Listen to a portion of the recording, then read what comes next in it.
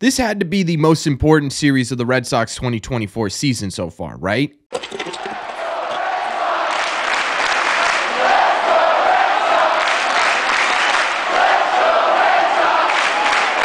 What is going on, everybody? Welcome back to Red Seat Radio. My name is Corbin. The Red Sox had two choices coming into this homestand play the two best teams in Major League Baseball and really let this season get out of hand quickly, or rise to the occasion and hopefully turn this season around? Well, the Red Sox decided to choose the latter because not only this weekend did they take it to the New York Yankees, winning two out of three games against the best team in the AL, they also beat the best team in the NL on this homestand as well. Officially, for the first time in a little bit, coming out of a homestand, two games above 500, now at 37 and 35 on the year, 12 games out of first place for whatever that matters, and now three games back of a wild card spot. They actually lost a game during this homestand, and that's mostly because because the Twins are on a five game winning streak. But to be honest with you, that doesn't really matter all that much. This series was still absolutely critical for the Boston Red Sox. So, what we are going to do in today's video is we're going to break this series down, talk about all the good that occurred, talk about some of the bad as well, and we're going to talk about why it was so important that the Red Sox won this series and this homestand.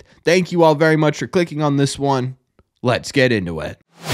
I mean, I think we just absolutely have to start by talking about the offense in this series because after getting shut down in game one of scoring just one run, they came back in a massive way, scoring 17 total runs in the next two games on 26 hits. And on top of that, just for fun, they threw in nine stolen bases in the finale of this series, which gives them a franchise record. They absolutely showed up against the New York Yankees. Individually, there were a lot of really great performances. Jarren Duran went off once again, five hits in this series, at least one in every game, scored three different times, swiped two bags in the finale, added another double to his total, threw in an RBI in there just to say he had one. I mean, Duran at this point is an all star. If you're not voting five times a day for Jarren Duran to end up in Texas in a month or so, I don't know what you're doing at this point. He absolutely deserves to be there. Vote Jarren Duran for this year's all star game. Ceddanne Rafaela being a Yankees killer is absolutely something I can get get behind. He had seven total hits, including two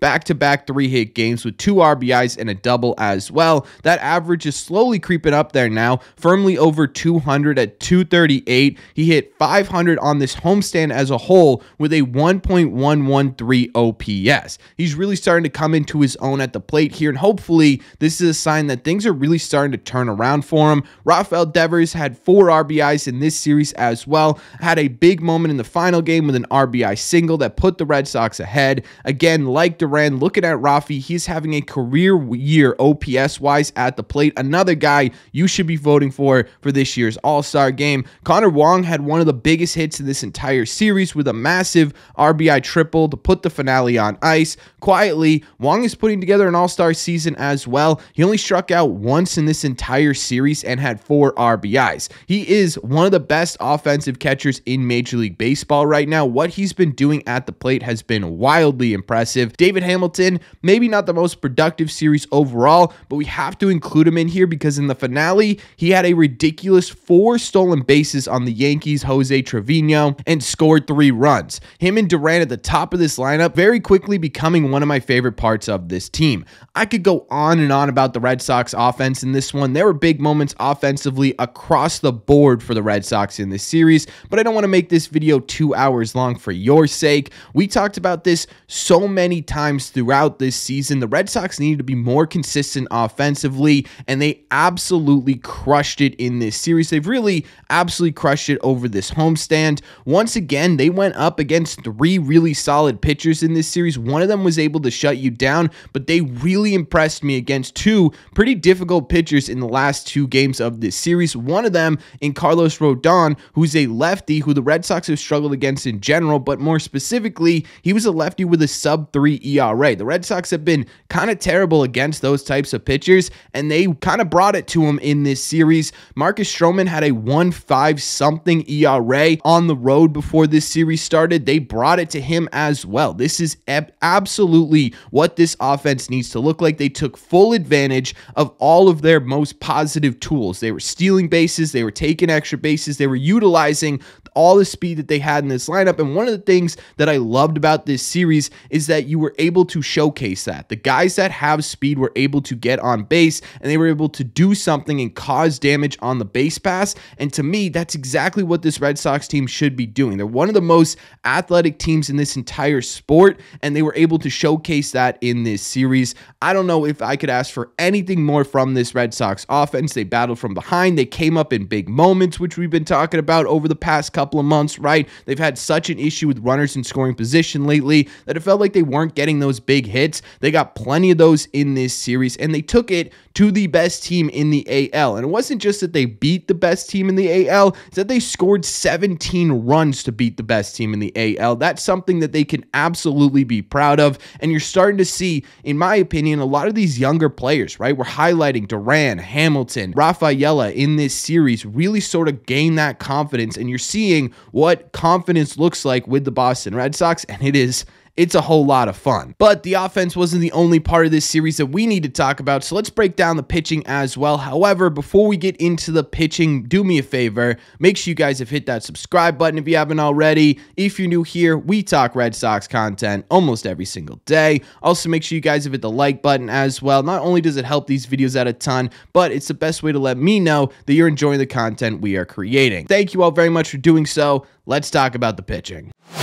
Pitching wise, there is one negative. I don't want to bring the vibes down too much, but we do need to talk about it, and that is Brayan Bello, who came out and had another really tough outing. He only made it four and two thirds innings, allowing four earned on six hits, walking three and striking out five. He just simply can't seem to make the right adjustments here recently. And honestly, I'm not sure if he's trying to pitch through something or not, but ever since coming back from the IL, he has looked completely different and not in a good way. I am starting to get a bit nervous about Brayan Bello. Obviously, I think it's going to take some time to get those adjustments made, but what is that going to do to his confidence if he's going out there night in and night out, unable to make those adjustments, just sort of getting shelled a little bit? That ERA is now up to a five even, which is the worst ERA on the Red Sox pitching staff, and the FIP isn't looking much better at 4.72. I don't know what's in store for Brayan Bello, but he really needs to sit down with Andrew Bailey and and be ready to completely change what he's doing. I think honestly, a lot of what the problem is is he's trying to nibble too much. He needs to start pounding the zone a bit more with strikes. He's been walking a lot of batters lately, and obviously that always comes back to bite you. Cooper Criswell was solid in this series. Wasn't fantastic, but we'll say solid. Four innings, two earned on three hits, struck out six and walked two. The only thing that I would have liked to see more of from Criswell is just inning wise. I'd like to see him go deeper into games, but he's been sort of this four four, five inning pitcher for a while now. And if he's going to give you four innings, to earn, and keep you in a game and win some, I'm really not going to complain about it. Kutter Crawford finished this series off, and he had a quality start. Six innings, three earned is a quality start from Kutter. He only had three hits, walked one, and struck out a ridiculous nine. He has settled in a bit after that stretch of really tough games. I like that he's actually been able to make the adjustments necessary, which is a fantastic sign. I will say, though, we are going on game six in a row where he has allowed a home run,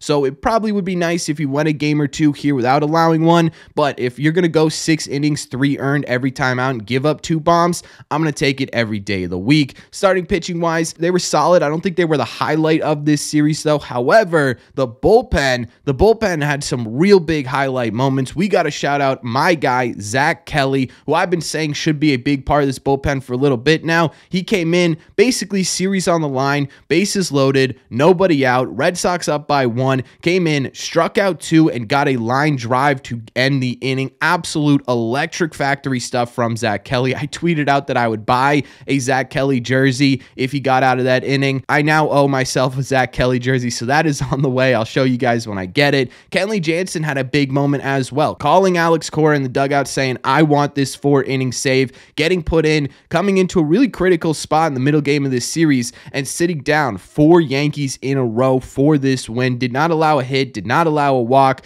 Absolutely fantastic killer type stuff from Kenley Jansen. That is exactly what you want to see from your bullpen veteran leader, right? You want to see that fire, you want to see that spark. Kenley Jansen brought it in this series. Overall, again, pitching, starting wise, wasn't really the highlight of this series, which is different from what we've talked about basically this entire year, especially when the Red Sox do well like this. But the bullpen, they had themselves a time. Overall, in terms of what this series means for the Red Sox 2024 season, this feels huge, right? This has to be the most important series of the year, right? Mostly because you had your offense show up athleticism wise in an absolutely massive way. You didn't even hit a home run in this series, and you still scored 17 runs just simply based on how athletic this lineup is. Your pitching had really, really big moments in here that just absolutely fired up the fan base. And speaking of the fan base, this was the first time this season that you could really feel the energy at Fenway Park through your TV. You hadn't really gotten that over this season as a whole, regardless of what their record has been, and right, rightfully so. But there were conversations about wh- whether or not to be 80% Yankee fans. Red Sox fans showed up and showed up in a big way in this series,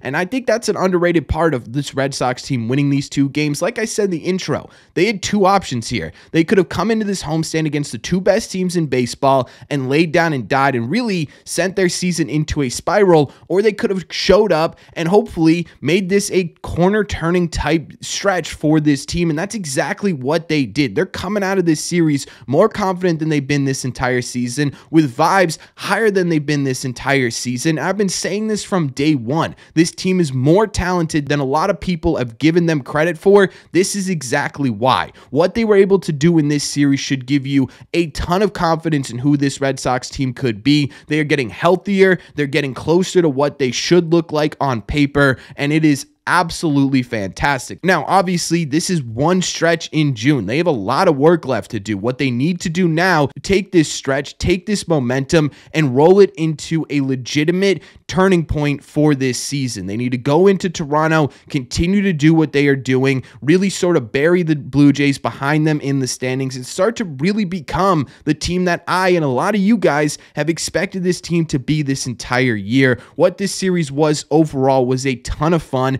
And I do think it meant a lot to the guys on this team. They came in and they were not favored at all. They were expected to drop most of these games, and they completely turned that narrative on its head. We talk about it all the time. This is an inexperienced baseball team that confidence means a lot for. Being confident in themselves, being confident in their ability is going to be a major factor in whether or not this team succeeds. And I don't know what gives a team more confidence than beating the two best teams in your home ballpark one of them being your biggest hated rival. And with Alex Verdugo stomping around the bases and really shutting him down as well, that had to do something for this team's confidence. And like we mentioned in the Phillies series, that is absolutely massive to this team's success. I don't think we could have asked for a better series here from the Boston Red Sox.